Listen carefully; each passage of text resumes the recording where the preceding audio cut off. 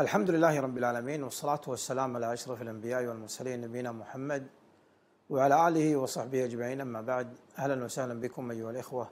من المشاهدين والمشاهدات في حلقة جديدة من برنامجكم. ونسأل الله عز وجل لنا ولكم التوفيق. حديثنا أيها الإخوة في الحديث القدسي أن النبي صلى الله عليه وسلم قال أن الله عز وجل قال يا عبادي إني حرمت الظلم على نفسي وجعلته بينكم محرما فلا تظالم. قلنا أن الظلم له عقوبة وخيمة أيها الإخوة. ولذلك الظلم أنواع. أولا الظلم الإنسان بمعنى أن الإنسان يشرك مع الله عز وجل أحدا. لذلك يقول النبي صلى الله عليه وسلم أعظم الظلم أن تجعل لله ندا وهو خلقك. الأصل الإنسان إذا أعطاك شيء أن تعطيه. وهذا ما ذكره الله عز وجل في آيات كثيرة. وإذا لذلك إذا أعطاك الله أن تعطيه أما أن الله عز وجل يعطيك ثم بعد ذلك أنت تعبد غيره هذه هي أو هذا هو عين الظلم هذا هو الظلم بعينه. ولذلك أعظم الظلم أن تجعل لله ندا وهو خلقك ورزقك وشق سمعك وبصرك ومع ذلك تعبد غيره ترجو غيره تلتجئ إلى غيره تستغيث بغيره وهو الذي خلقك. ولا بد أن تؤدي هذه العبادة. ولذلك النبي صلى الله عليه وسلم لما كان يقيم الليل حتى تتفطر قدماه رد على من قال له يا رسول الله لما تفعل ذلك وقد غفر الله لك ما تقدم من ذنبك وما تأخر؟ هل أنت تفعل لأن ترجو مغفرة الذنوب ما تقدم وتأخر قد غفرها الله لك. قال أفلا أكون عبدا شكورا. هذا فتح من الله عز وجل. أن الإنسان يفعل ذلك شكرا لله. اليوم بعض الناس لما يعطيه الله عز وجل لا يستشعر مثل هذا الأمر. أن أفعل هذا شكرا لله عز وجل. أصلي شكرا لله. أنا الحمد لله بصحة وعافية. ليس عندي مرض ولا عندي شيء حتى أضطر نفسي لأني أذهب إلى الصلاة. كما قال قال صلى وصام لأمر كان يرقبه فلما انقضى الأمر لا صلى ولا صام. لا. حتى لو أعطاني الله عز وجل ما أعطاني أنا شكرا لله. ولذلك قال النبي صلى الله عليه وسلم أفلا أكون عبدا شكورا؟ أنا أكون عبد شكور لله. وذلك الشكر من أعظم ما يحبه الله عز وجل. وذلك أول آية في كتاب الله عز وجل الحمد لله رب العالمين. ولذلك جعلها الله عز وجل آية تقرأها لا تصح الصلاة إلا بها سورة الفاتحة. الحمد لله رب العالمين الرحمن الرحيم مالك يوم الدين. كل هذا تبجيلا وتعظيما لله عز وجل. ولذلك يقول الله عز وجل اعملوا آل داود شكرا وقليل من عباده الشكور. ذلك ورد أن أن أن عمر رأى رجلا يقول اللهم اجعلني من عبادك الأقلين. فقال ما تقصد بعبادك الأقلين؟ قال يا عمر قال الله عز وجل وقليل من عبادي الشكور. قليل من عبادي من عباد الله عز وجل الذي يشكر النعمة. ولذلك الله عز وجل يريدك أن تشكر النعمة حتى على مفاصلك مفاصل جسمك هذه. ورد في الحديث أن النبي صلى الله عليه وسلم قال على كل سلامة يعني على كل مفصل. على كل سلامة صدقة. قال النبي صلى الله عليه وسلم أمر بالمعروف صدقة ونهي عن المنكر. إلى آخر ما ذكره النبي صلى الله عليه وسلم. قال ويعدل ذلك كله ركعتا الضحى. يعني ركعتا الضحى عن 360 حسنة. ركعتا الضحى عن 360 حسنة عن 360 صدقة. كم فرطنا نحن في في ركعتي الضحى؟ طبعا شنو ركعتي الضحى؟ التي هي بعد الفجر بعد ما يكون طلوع الفجر تقريبا بربع ساعة إلى قبيل الظهر بربع ساعة. يسميها النبي صلى الله عليه وسلم صلاة الأوابين. كان النبي صلى الله عليه وسلم يصليها شكرا لله عز وجل. هذه تفعلها شكرا لله على المفاصل جسمك. مفاصل جسمك 360 حسنة. فأنت تفعل ذلك شكرا لله سبحانه وتعالى.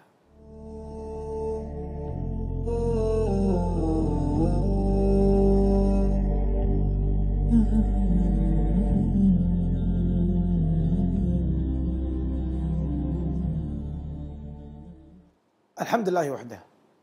والصلاة والسلام على من لا نبي بعده. نبينا محمد وعلى آله وصحبه أجمعين أما بعد. أيها الإخوة قلنا بأن الإنسان لا بد أن يعرف هذا المعنى من المعاني العظيمة. وهي أن هذا الأمر الذي تفعله شكرا لله عز وجل سوف يعود عليك. اعبد الله عز وجل شكرا. اعبد الله سبحانه وتعالى شكرا. اعملوا آل داود شكرا وقليل من عبادي الشكور. اعملوا آل داود شكرا وقليل من عبادي الشكور. ولذلك الشكر ليش؟ حتى لا تقع في مقال النبي صلى الله عليه وسلم أعظم الظلم أن تجعل الله ندا ما خلقك بعض الناس أيها الإخوة ما يفهم قضية الشكر. الشكر ورد في الحديث أن من أكل أكلة فقال الحمد لله الذي أطعمني هذا ورزقني من غير حول مني ولا قوة غفر الله له ما تقدم من ذنبه. شوف شوف الله عز وجل كثر يحب الشكر. سبحان الله النبي صلى الله عليه وسلم لما قال كلمتان خفيفتان على اللسان. اللي ختم بهم الإمام البخاري صحيحه. كلمتان خفيفتان على اللسان ثقيلتان في الميزان. لاحظ حبيبتان إلى الرحمن. سبحان الله وبحمده. سبحان الله العظيم. شوف الحمد. حمد الله عز وجل. شكر الله عز وجل. لما أعطاك وأنعم عليك. هذا من نعم الله عز وجل عليك. وذلك مر النبي صلى الله عليه وسلم على إحدى زوجاته كانت تذكر الله سبحانه وتعالى من بعد صلاة الفجر حتى منتصف الضحى. يعني مثلا نقول ثلاث أربع ساعات تذكر الله عز وجل. مر عليها النبي صلى الله عليه وسلم وبعدين رجع قال وما أما زلت على ما كنت عليه منذ تركتك؟ قالت نعم يا رسول الله أنا أذكر الله عز وجل كل هالوقت هذا. شكرا لله سبحانه وتعالى. فقال لو قلت ألا إني قلت أربع كلمات ثلاث مرات. قالها النبي صلى الله عليه وسلم قال تعدل ما قلت. قالت وما قلت؟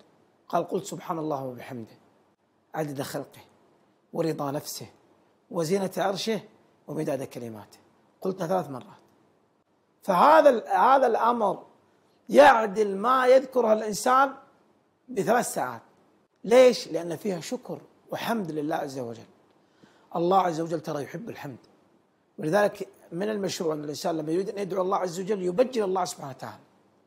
ذاك في الحديث قال النبي صلى الله عليه وسلم أن الله عز وجل قال قسمت الصلاة بيني وبين عبدي نصفين فإذا قال عبدي الحمد لله رب العالمين قال الله حمدني يا رب عبدي وإذا قال الرحمن الرحيم قال أثنى علي عبدي.